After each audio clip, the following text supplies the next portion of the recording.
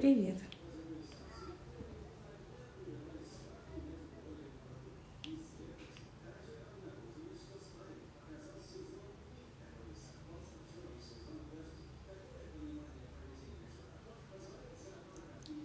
Привет, привет, ребят.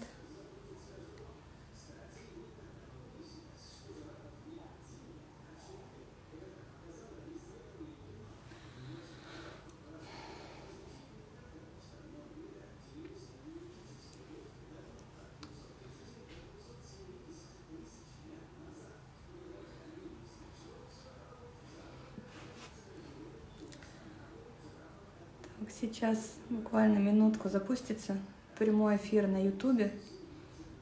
О, запустился. Угу. Все, вижу. Ну, давайте, как обычно, я вам немножечко расскажу по теме. И еще раз эм, давайте всем проговорю добрый вечер. Я то, что я рассказываю, это не где-то я прочитала в книгах, это не где-то у меня нет своей лаборатории.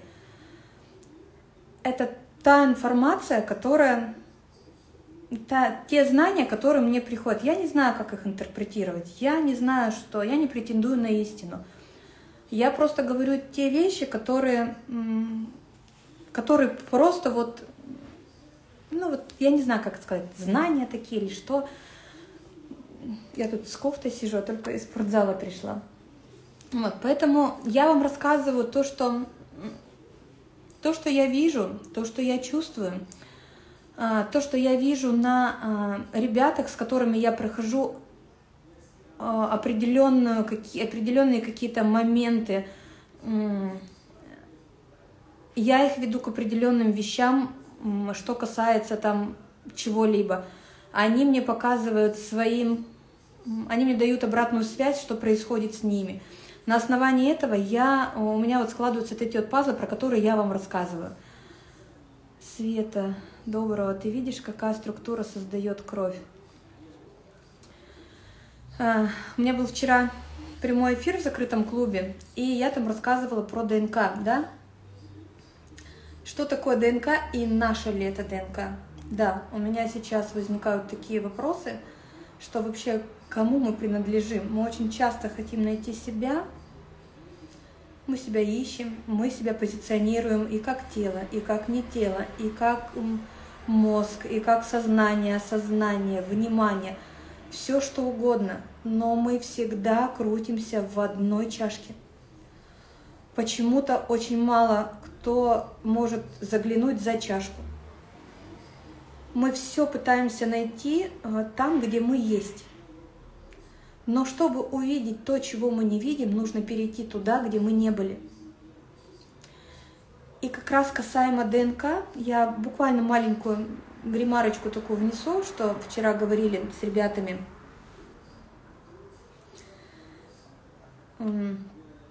в закрытом клубе. Это как раз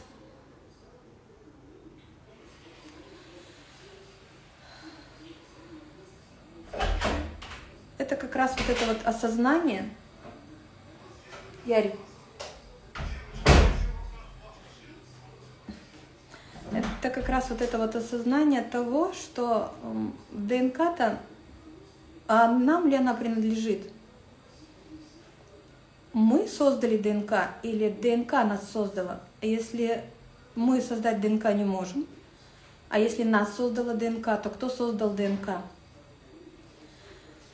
И чем глубже ты уходишь, вот, тем больше ты понимаешь, что пока ты не выйдешь из-под колпака определенного состояния себя, ты не увидишь то, что находится за колпаком, ты не увидишь то, что находится э, вовне, э, не внутри, а вовне, кто тебя наталкивает на определенное осознание того, либо того э, действия, продукта, какого-то видения. Вот. Вы испытывали опыт самадхи, подобно умиранию при жизни тела? Да, я это рассказывала. У меня есть на канале эти видео, я там подробно рассказывала о своих состояниях. И точно так же про кровь, да? Мы с вами уже говорили, что я считаю, что кровь это это карта нашей жизни. А ДНК это, наверное, а, есть карта существования, существования подобных тебе.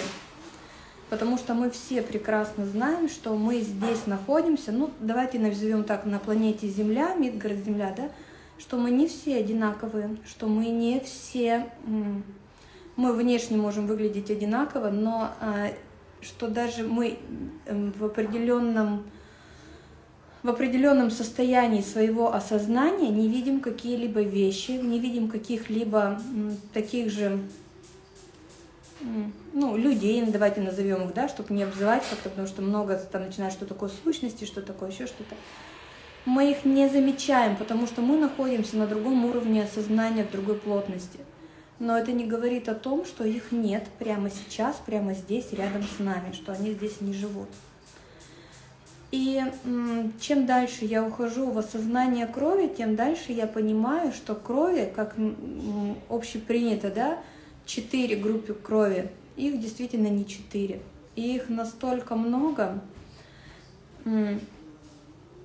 и как я могу сказать про группу крови, что я вижу в этих группах, это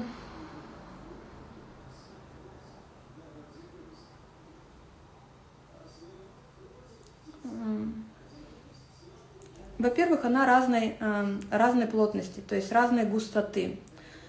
За счет того, что она разной густоты, она может принять э, разный вибрационный слой, разную вибрационную прослойку, разные вибрации э, информационные, либо э, знания, вибрации знания. За счет того, что у нее разная плотность, разная вибрационная структура, за счет этого она разного цвета. Ну, то есть я не говорю, что она зеленая, красная, голубая, да, да, она там красная, алая, там, ну, с какими-то оттенками – но ее видно, то есть когда вы, когда вы уже начинаете видеть вот эти вот цвета, я вчера рассказала, да, я вчера рассказала в закрытом клубе про когда у нас идет очищение, э, очищение тела, очищение зрачка, и мы начинаем видеть э, свет, свет, цвет света. Вот. И за счет того, что кровь может принять разный а, вот этот вот эм, виток, разную вибрацию, за счет этого она может менять и а, свою, за счет этого меняет свою плотность, ну, как мы, знаете, когда ложкой крутят, там, например, мешают что-либо, да, вот, например, там, эм, я не знаю, кто-нибудь делал домашний майонез, там вроде такие продукты наливают, а потом раз, и оно становится густой. И то же самое я вижу с кровью. То есть чем больше мы готовы принять информационной вот этой вот волны, информационного знания, чем больше мы готовы принять нашим физическим телом, тем больше получается вот эта вот э, спираль структур, она меняет кровь по свету. То есть она становится цветом абсолютно другим. То есть если она, например, в, в спокойном состоянии более густая, да, более такая алая, там еще что-то. Что такое? Что? Что? Ну?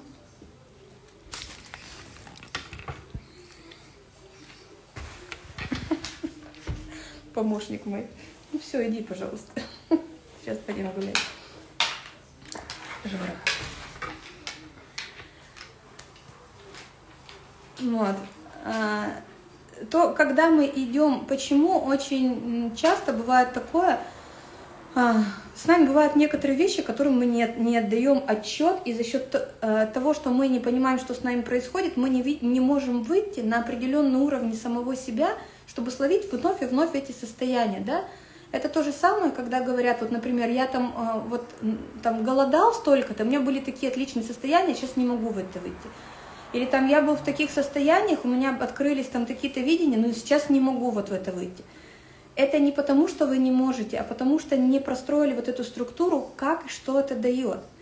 То есть, э, чем больше мы готовы через свое физическое тело получать определенные знания, определенную информационную структуру, тем больше у нас закручивается эта спираль, тем больше у нас, э, э, так назовем, давайте грубо, светлеет кровь. Чем, сейчас я, ребят, почитаю вопросы, секунду. Чем больше светлеет кровь, тем больше она может принимать вот это вот м, света, потому что вот эти знания, оно идет через свет – но чтобы принять своим физическим телом вот определенную структуру знаний, ты должен и физическое тело к этому подготовить. То есть не каждое физическое тело может принять какую-либо информационную структуру. Вы, может быть, много видели людей, которые ну, очень умные, их очень приятно слушать, у них, у них прям информационный поток клевый, но выглядят они скажем так, больными, да, э, старыми, больными, их тело, их, э, их так, не сознание, их, их внутренняя структура при помощи прошлых жизней сыграла определенный стержень его самого, где он может принять достаточно мощную энергетическую структуру. Но тело физическое к этому не готово. И за счет того, что тело физическое не готово, он его принимает, но тело все больше и больше разрушается. И, кстати, э, по этому поводу сейчас я буду разрабатывать такую программу вместе с вами, конечно же, где и будет, где и будут вот эти вот все моменты, когда мы будем себя прокачивать не только со стороны питания, не питания, когда мы будем себя прокачивать не только со сознания, что такое сознание, когда мы будем себя прокачивать и с физической стороны. А, то есть я сейчас чуть попозже расскажу, я а, буду скоро запущу, сейчас вам все расскажу, бесплатный трехдневный марафон, что из этого выйдет, я чуть попозже расскажу, чтобы не отвлекаться от темы. Вот. И когда мы с вами говорили о зубах, то есть я э, все же склоняюсь к тому, что зубы это это те антенны, которые принимают определенный, определенную структуру э, знаний. Потому что люди, которые, э, у которых какие-то проблемы с зубами, причем очень серьезные, вы можете видеть, разговаривая с ними, что у них нет того осознания к чему, то есть они могут говорить те вещи, которые для вас кажутся банальными – они могут рассказывать вам, они могут говорить вам то, и вы можете четко понимать, почему человек этого не видит, что происходит такого, почему он этого не замечает. Это же на поверхности. То есть различные, э, различные вот это, это потому, что он не может принять. И как раз, э, когда я говорю, что а, кровь имеет влияние на зубы, это я говорю как раз о том, что когда мы прокачали свое тело, я расскажу, что такое прокачали свое тело. Когда мы урегулировали свой вот этот вот стержень восприятия информационной вот этой вот э, волны, э, именно вибрацию, потому что я еще раз повторю, что мы находимся э, полностью вот эта вот сетка, вот эта вот матрица, она вся находится в этой вибрации, э, вибрация знания, когда мы можем это принимать. И за счет этого, когда у нас запускается вот эта вот структура, одно, второе, третье, то есть не может запуститься только один какой-то компонент, да, мы все должны прокачать, и это обязательно. И когда вот это запускается, тогда вы можете регулировать в том числе и а, ваши зубы. Если вы возьмете а, какие-либо исследования, а, но это, наверное, в Ютубе сложно найти, да, но если у вас есть какие-либо стоматологи, знакомые, то вы можете посмотреть, что у людей, у которых эм, в большинстве, давайте так, потому что там э, не будем все под одну гребенку грести, но тем не менее в своем большинстве у людей, у которых более более жидкая кровь, то есть не которая остановиться не может, не до, не до болезненного состояния, там у них есть тоже какие-то э, свои вот эти вот критерии, то у тех людей более здоровые зубы. И это очень важный момент. И если мы с вами его проработаем, его осознаем, то мы очень о многих вещах э, узнаем о самих себе. То есть мы можем кровь на любом этапе менять самостоятельно. Да, мы можем ее менять, когда мы прокачиваем все, э, на сегодняшний день я вижу три, э, три основных положения. Это внутренний вот этот вот стержень, душа, дух, назовите его как хотите. Это именно то, эм, то осознание, которое, э, которое вы готовы расширять, не которое вы просто готовы, вот это вот я не хочу, вот это я не буду, это я еще что-то. Это ваше физическое тело, и, конечно же, никуда мы не уйдем, это наше питание, потому что на питании строится максимально все. То есть вы прекрасно понимаете, что если человек будет есть мясо и запивать это, там, я не знаю, там каким-то спиртным, там, пивом, то у него не будет тех осознаний, если бы тот же человек, например, ел какую-то облегченную пищу, более здоровую, так скажем, да.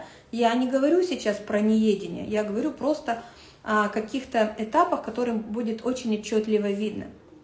Вот. И именно поэтому я сейчас, ребят, хочу запустить а, марафон трехдневный. Он будет абсолютно бесплатным. Что будет на этом марафоне? Во-первых, он запустится, я сразу же во все соцсети скину ссылку, чтобы можно было присоединяться, кто захочет. Что это будет за марафон? А, он будет стартовать, когда наберется человек 500. Нас с вами всех много, я думаю, что человек 500 наберется в течение какого-то времени. Я планирую, что это будет где-то так. Он будет абсолютно безоплатный. Мы эти три дня будем с вами говорить не только о питании, не только о каких-то психологических моментах и разрушивать какие-то мифы, в том числе и наши убеждения, которые очень сложно нам даются. И я вам потом их расскажу, это действительно там не очень все приятно, как бы нам хотелось, но только зная э, то, что есть, мы можем это поменять. И, конечно же, это физика. То есть я буду показывать максимально свою жизнь. Я буду вам, мы будем с вами встречаться несколько раз в день. Это будет проходить в Телеграме. Я буду показывать, как мы начинаем день, почему мы так начинаем, что это дает. Потом мы будем определять, что мы будем делать для... То есть мы будем определять с утра сразу же по питанию. Потом мы будем определять, что мы будем делать для нашей физики. И мы будем определять, какую тему мы сегодня будем поднимать. Это будет три дня. Далее, кто захочет идти дальше, то дальше будет э, следующий у нас переходит марафон, это будет 21 день. То есть после трех дней абсолютно бесплатных пойдет уже в 21 день. Э, в 21 день, и там будет все то же самое. Но 21 день, там уже будет какая-то оплата. Я еще не могу сказать, но она будет чисто символическая. То есть я буду понимать, что мое все время будет занято с вами общением. То есть это будет как минимум два раза в день выход э, в эфир. Эфиры будут сохранены. Мы с вами будем, то есть мы будем жить с вами вместе. И если 21 день нам понравится, то есть 21 день это когда идет новое осознание себя. Если вы говорите, что мы готовы идти дальше, то я продолжаю этот марафон до 40 дней и мы 40 дней с вами прокачиваем, то есть у вас не будет срывов на питание, потому что мы будем все постоянно вместе. У вас не будет э, возможности как-то не прокачать свое физическое тело, потому что мы найдем, как его нужно будет прокачать. И, конечно же, мы очень много разберем различных вариантов зависимостей психологических, которых не дают вам дальше двигаться. Ссылка будет, во-первых, прикреплена под видео, под каждым, и в соцсетях я их раскидаю. И как только набирается у нас вот этот вот пул людей, мы сразу же запускаем, посмотрим, посмотрим, к чему придем. Я думаю, что это будет достаточно интересно, поучительно, но и как минимум это будет для всех, для нас полезно. Я думаю так. Так, значит, переливание крови меняет тебя? Конечно. Переливание крови меняет тебя, это однозначно. Так же, как и э, новые органы, так же, как и девочки, нарощенные волосы. А нарощенные волосы, они перекрывают вам а, настолько много. Мы как-нибудь тоже сделаем эфир, и, возможно, как раз вот на этом марафоне мы поговорим про это. Эм, это жуть. Я расскажу свое видение, там уже вы посмотрите. Если было как можно а, во что-то верить в этом иллюзорном мире, подобно сновидению. А если у вас был опыт самадхи, то вы знаете, о чем я говорю. Я рассказывала там, я рассказывала, какие со мной были состояния и почему я пошла дальше. Могла бы не идти. Да, у меня были такие моменты, что я не готова была вообще идти дальше ни к чему. Но пошла. Так, ребятки, давайте я почитаю вопросы. Добрый вечер, добрый вечер. Светлана, люблю вашего Бога внутри. Спасибо, Танюш. Добрый вечер, Евгений. Так, интересно, зубы можно со второй группой крови вырастить? Татьяна, можно зубы вырастить с любой группой крови, но здесь, э, смотрите, группы крови, их не четыре. Группы крови, их только официально утвержденные. У них есть разновидность, у них есть цветовая разновидность вот, которая нам неизвестна, и не всем медикам она известна. И в каждой вот этой группе есть по 14, а, а, по 14 групп, то есть там получается 7 цветов, насколько я э, знаю, и в каждой, э, в каждой, в каждой световой, цветовой гамме есть 14 э, групп, на которые подразделяются. И это не просто подразделение, то есть определенных людей с определенной с определенной группой, их э, прямо они на очень жестком контроле у определенных людей. Люди могут этого даже не знать. Вот, это первый момент. И второй момент, когда меняется группа крови, она меняется тоже не просто так. И это тоже нужно об этом понимать. Может их 64, как и основной ДНК,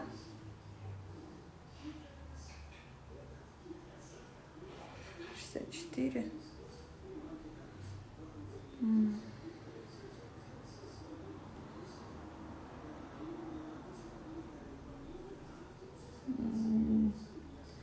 Я, я все-таки, знаете, ребят, как думаю насчет групп крови, а, когда, когда я общалась с определенным человеком, он мне дал такую затравочку, но я еще в ней далеко, до конца не разобралась, поэтому, конечно, глупо вам что-то здесь рассказывать, но тем не менее, э, я вам тоже дам такую затравочку, что э, число 108, оно не просто так. Это э, карта нашей физики, а если карта нашей физики закладывается именно через омывание органов, через кровь, то, возможно, здесь есть тоже какой-то определенный ключ. То есть мы же должны понимать с вами, да, что у нас нет такого единого ключа ко всему. То есть у нас есть много дверей, и мы должны в своем доме открыть все двери. Понимаете? Вот, поэтому нам с вами еще копаться и копаться, и если мы будем друг другу, с друг другом делиться определенной информацией и идти, выходить, то есть эм, мы в том числе и при помощи питания – можем выйти из-под определенного колпака, из-под колпака ДНК. ДНК наша контролируется не нами. И когда мы выходим из-под этого колпака, вот, мы хотя бы на несколько, там, мне удавалось на несколько секунд носом только почувствовать, что там есть что-то другое. Вот. И поэтому я и хочу развиваться, идти дальше и дальше.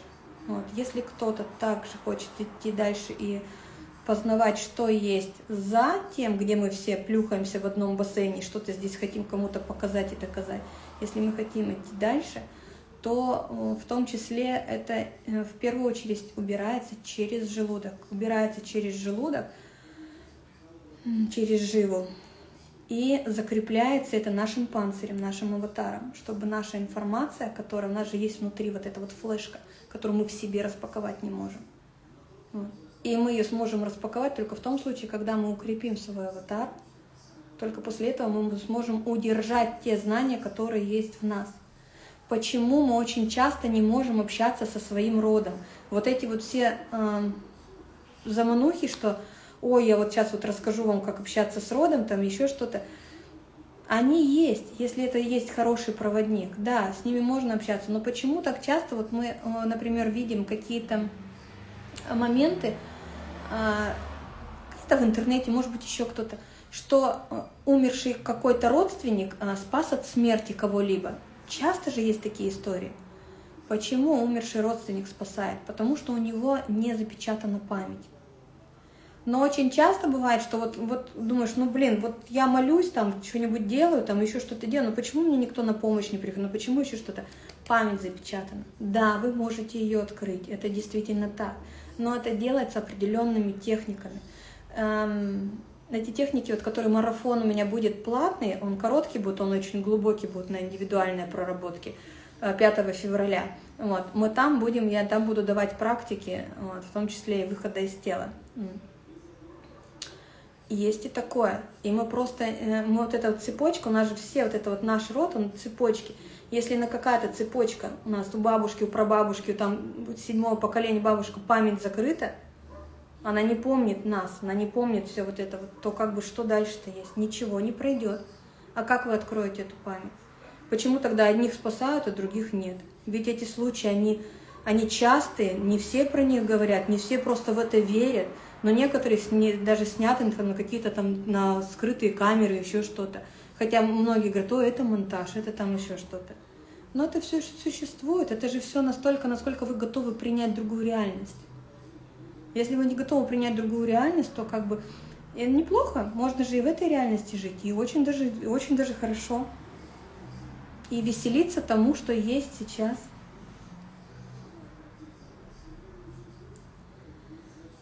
Так, здравия, Светлана, всем друзьям. Добрый вечер. Это только у меня идет такой посторонний шут типа радио или телепередачи. У меня сын там смотрит э, YouTube, поэтому, может быть, есть что-то. 108 богов или православие и 108 божественных углов. Ну, возможно.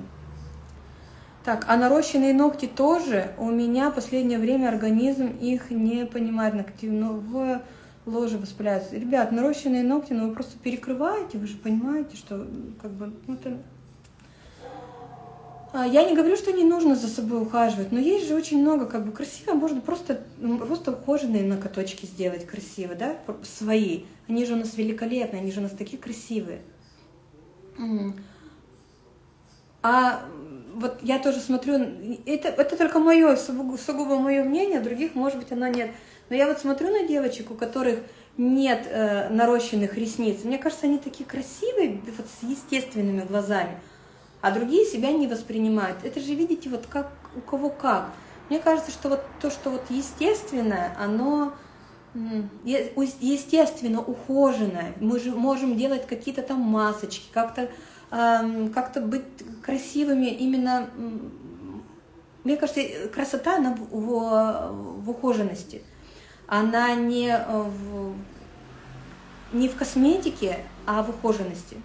Все остальное это все абсолютно закрывание себя от чего-то.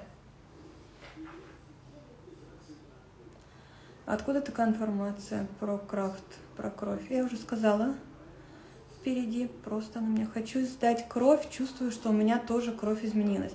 Возможно, у меня Uh, у меня три раза менялась пока кровь в своей жизни. Почему я это знаю? Потому что в детстве у меня была одна кровь, uh, я лежала в больницах, мне ни разу не делали переливания.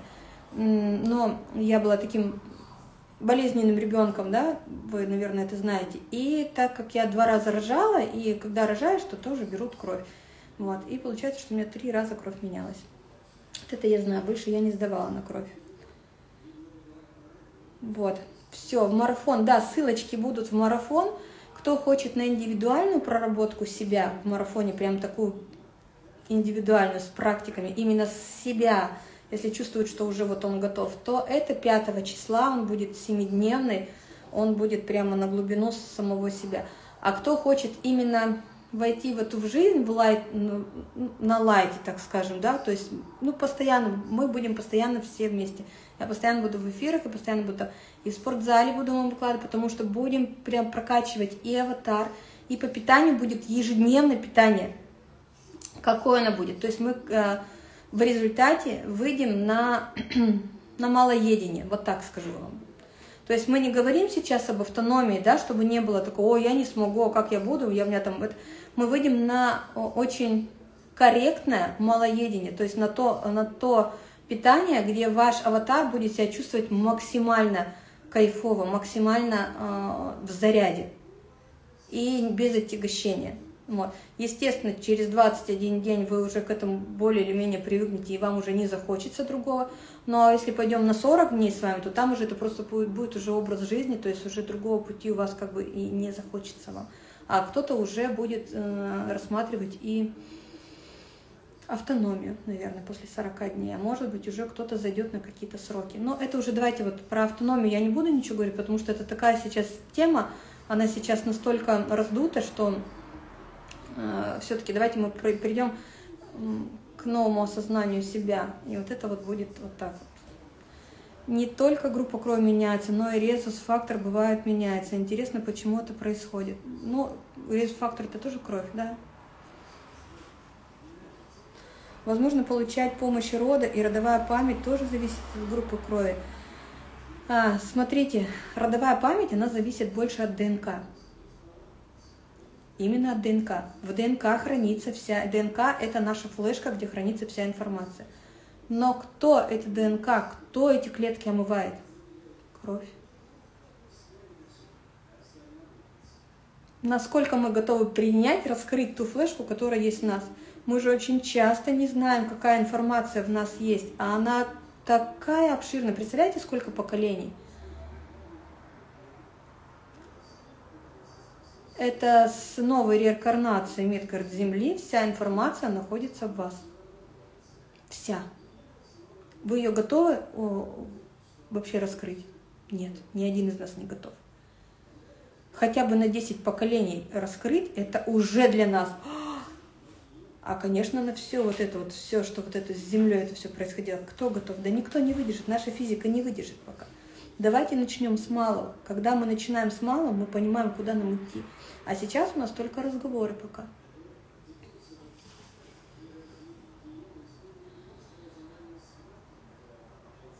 Сто восемь диаметров Солнца – это расстояние до Земли. Да, но опять же, ребят, Солнце, да, Солнце. Солнце и Луна. Мы сейчас многие думают, что у нас и одна Луна, и одно Солнце, но это не так. И очень часто мы, бывает, даже видим две Луны, но как-то себя их оправдываем.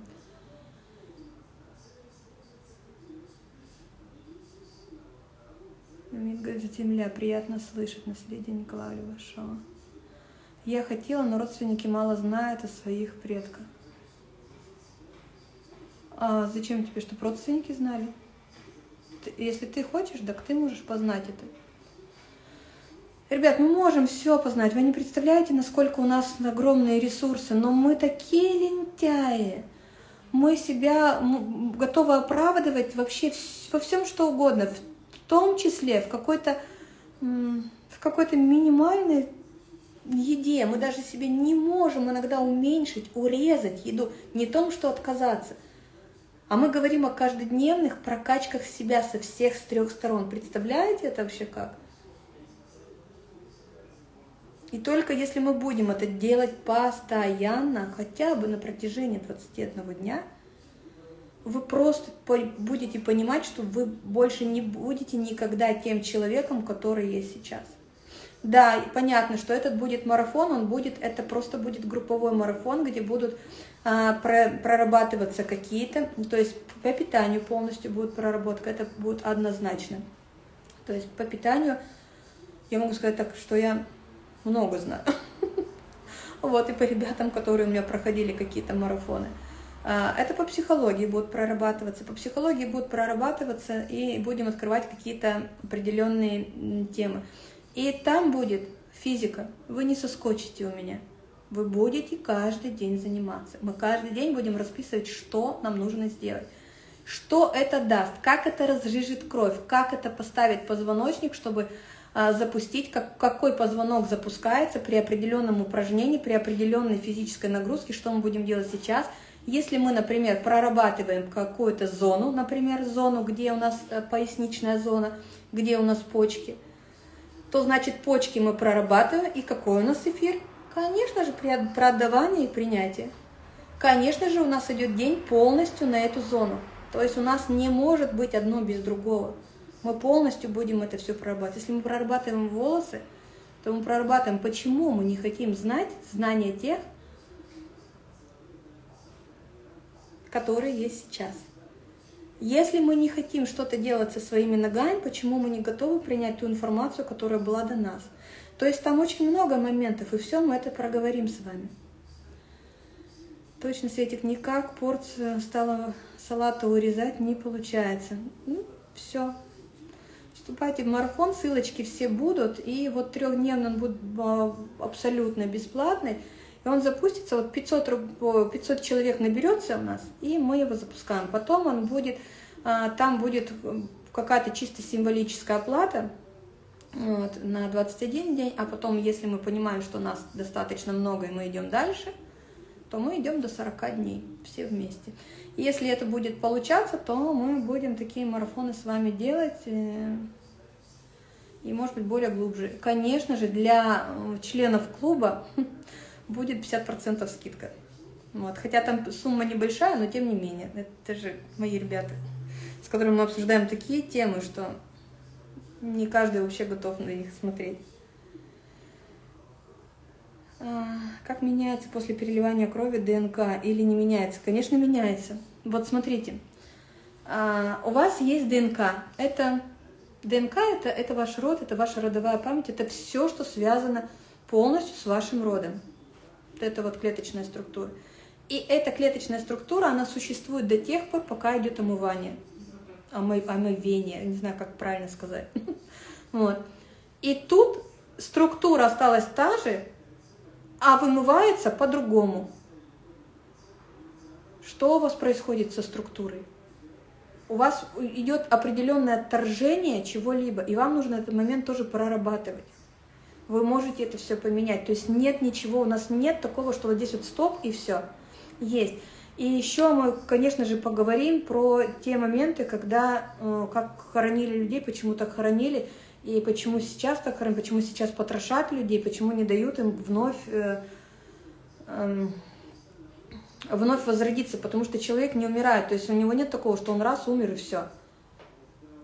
Он возрождается. Клетка у нас, э, она вот эта вот реинкарнация, про которую нам сейчас говорят, реинкарнация изначально она была не в новое тело. Реинкарнация она была через определенный период, и были смотрящие, которые ждали, когда придет реинкарнация, и он вставал в своем же теле человек. Но это сейчас не об этом. А, у меня проблема с жорами и сладким. Все, присоединяйся. Слава. Слава Левша. А что говорит отвержение ребенка, агрессия, унижение и так далее родителями? Ведь получается, родовая система отвергает, от, отвергает это свобода. Но от, нет, это почему э, свобода?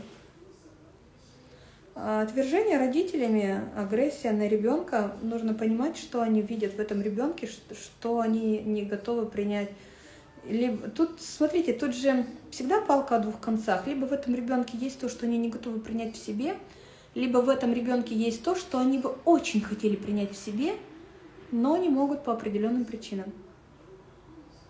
Что с этим? Не с ребенком ведь что-то не так. Этот ребенок дан для определенного осознания. Идешь ты к этому осознанию или нет, это уже абсолютно другое. Если ты к нему идешь, ты обязательно в этом разберешься. И здесь все лежит на поверхности. То есть я не могу сейчас эту тему полностью вскрывать. Но, например, на марафоне у нас будет, если, если вы идете на марафон, который 5 февраля начинает, стартует, эм, который в глубину каждого идет, то там мы разбираем прямо эти ситуации по каждому. Я разбираю, и там мы будем прямо углубляться, углубляться в эти моменты, чтобы вытащить все вот это вот говнецо. Вот. Но а который марафон будет у нас, э, вот когда, как только будет определенное количество желающих, то там мы будем проговаривать разные темы, в том числе и про эти темы можно проговорить. Почему нет? Это же все наше. Благодарю. Посыл любви солнца. Благодарю, ребят. Так, ну что, ребят, будем, буду я оформлять ссылочку по бесплатному марафону. Присоединяйся. Да, я левша и очень талантливая, и всю жизнь люблю делать своими руками. Правда, что нельзя, правда, что нельзя переучивать левшей? А, тут дело же не в переучивать, а зачем переучивать? У тебя э, левша это Смотрите, левша, они всегда, э, это всегда те детки, которые, когда они еще формируются у мамы в животике, у нее построен, у нее так внутренний орган, то есть у нас внутренние органы э, располагаются по одному. Женщины это знают. Когда ребенок начинает расти, они могут мигрировать внутренние органы, да, вот. И э, в определенных состояниях мигрируют определенные внутренние органы у женщин, и у ребеночка по-другому начинает э, как бы э, омовение э, внутричерепного, внутричерепное давление идет, омовение идет с другой стороны. И ребенок чаще рождается а, как какой-нибудь, ну, например, у нас реже левша, э, левша, да, и поэтому и рождается левшой. А вообще, если женщина правильно ходит, то у нее ребенок рождается амбидекстер. Это когда два полушария абсолютно одинаково задействованы, когда вы можете и правой, и левой рукой делать абсолютно э, идентичные вещи, когда вы можете одномоментно и правой, и левой рукой что-то делать. Это когда ребенок абсолютно правильно лежит. Если вы э, посмотрите ранее какие-либо картинки, может быть, где-то найдете, там еще что-то, то вы увидите, что ребятишки, которые там, ну, еще за много-много-много лет до нас, да, то, например, там, если они ели, то им было без разницы, например, какой рукой есть. Если они рисовали, им были без разницы, какой рукой рисовать. Вот. Да, это когда э, отсутствовала определенного типа одежда, это когда отсутствовало определенного типа какие-то повозки, какие-то средства передвижения, какая-то обувь, которая не деформировала стопу. Вот. Тут же очень много всего. Светочка, благодарю. Светочка, спасибо за эфир. Благодарю, ребят. Ну все, буду закругляться, мы с вами надолго не прощаемся. А если наберется в ближайшее время 500 эм, человек, я думаю, у нас уже, в принципе, и так много, то очень все быстро с вами начнем это все делать. Всех вас обнимаю. Спасибо огромное за вопросы, ребят. Спасибо, что были со мной. Мне очень приятно. И всем пока.